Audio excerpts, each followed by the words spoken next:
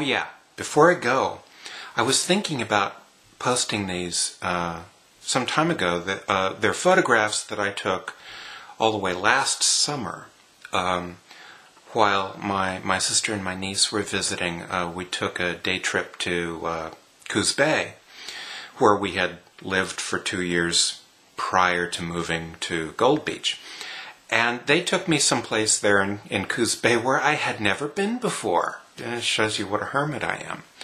It's, um, it's called Empire Lake, and I believe it's a man made lake. They actually flooded this particular area uh, to, to uh, create a, a, recreational lake and uh, flooded a lot of the trees and natural foliage and uh, everything. And it really does look like quite a haunted place in its own right. It's it's a little creepy looking. So I figured it might be nice to, to end with a few uh, a few of the snapshots share with you. Okay?